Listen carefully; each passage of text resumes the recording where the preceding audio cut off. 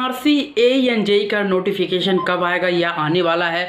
इस प्रोसेस को पूरा समझेंगे और 2019 में इतनी सीटें आई थी। अभी दो साल हो गए हैं तो क्या चीज़ें हैं जो नमस्कार दोस्तों, आप लोगों का स्वागत है टेक्निकल एग्ज़ाम में। आज हम डिस्कस करेंगे डीएमआरसी दिल्ली मेट्रो का।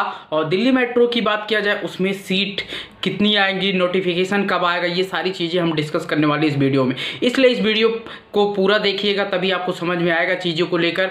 और सिलेबस भी डिस्कस करेंगे पैटर्न भी डिस्कस करेंगे। और किसके डिपार्टमेंट कितनी वैकेंसीज 2019 में आई थी, अभी तक क्यों नहीं आए, दो साल हो चुके हैं। और क्या नई चीज़ें अभी मेट्रो दिल्ली में बन रही है, उसकी कनेक्टिविटी नया ही बन रही है नया रूट बन रहा है तो उस पर वैकेंसी कैसे आ सकती है? ये सारी चीज़ें हम डिस्कस करने वाले उससे आगे बढ़ने से पहले मेरा एक रिक्वेस्ट है। मेरे चैनल पर नया हो तो टेक्निकल एग्ज़ाम को सब्सक्राइब कर लीजिए और वीडियो अच्छी लगती है लाइक एंड शेयर कीजिए। और मुझसे ज्वाइन पर्सनली गाइड करना चाहते हो तो ज्वाइन हो सकते हो और ज्वाइन बटन के साथ। चलिए वीडियो को स्टार्ट करते हैं। दिल्ली मेट्रो की नोटिफिकेशन की बात किया जाए जैसे कि पता है कि दो, में वैकेंसीज आई थी। दो हज़ार उन्नीस में वैकेंसी जब आई थी तो बहुत सारा चौदह से ऊपर वैकेंसीज आई थी डिफरेंट डिफरेंट ब्रांच में।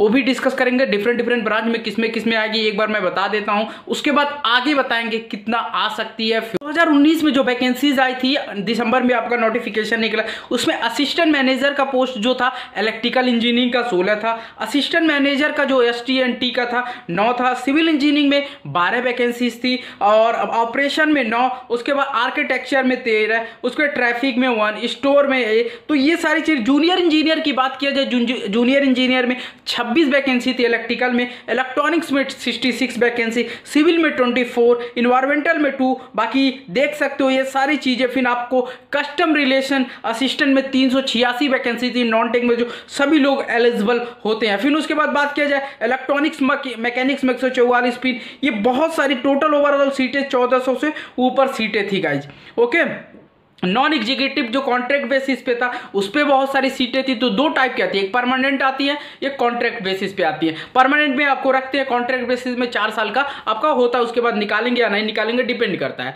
अब बात करती है 2021 और 22 में डीएमआरसी का क्या फ्यूचर है। अब बात करते हैं डीएमआरसी देखिए, बहुत दिन से, दो साल से वैकेंसी नहीं निकाली है, अब बहुत सारी इनके रूट बने हैं। तो 100 परसेंट ये चीज़ें हैं कि 2022 में आपके वैकेंसीज आने वाली हैं।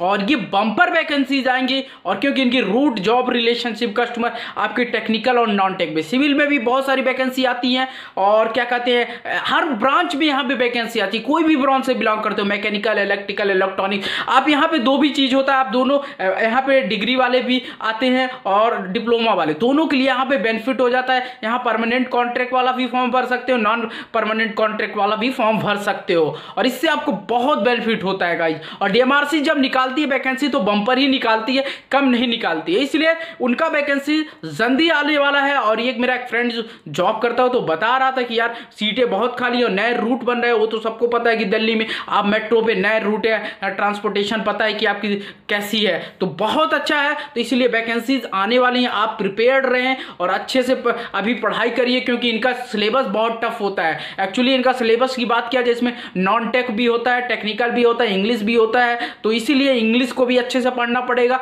एप्टीट्यूड को भी अच्छा से पढ़ने पड़ेगा जीएस को भी अच्छा से रीजनिंग भी अच्छे से और टेक्निकल तो पढ़ना ही पढ़ना पड़ता है। तो इसलिए आपको पैटर्न ऐसा कुछ होता है और अच्छा एग्ज़ाम होता है, अच्छे क्वालिटी के क्वेश्चन आते हैं और तो इसलिए सब ब्रांच वाले अवेयर रहो और वैकेंसी जल्दी आने वाली है और ये प्रिडिक्शन मेरा है और मेरा फ्रेंड बता रहा है। तो नोटिफिकेशन जल्दी रिलीज़ होगा क्योंकि 2019 के बाद वैकेंसीज नहीं आई है। तो इसी को देखते हुए मेरा मानना है और जो भी बात हुई है तो जल्दी आने वाली है गाइज़ इसीलिए आप डीएमआरसी पे फोकस कर क्योंकि अदर जो मेट्रो होती है, जैसे यूपी मेट्रो हुआ, नोएडा मेट्रो हुआ, या मुंबई मेट्रो हुआ, या जयपुर मेट्रो, वहाँ पे वैकेंसीज बहुत कम होती है, निकलते रीजन इसके पीछे क्या होता है? आपको पता है कि रीजन क्या होता है? क्यों?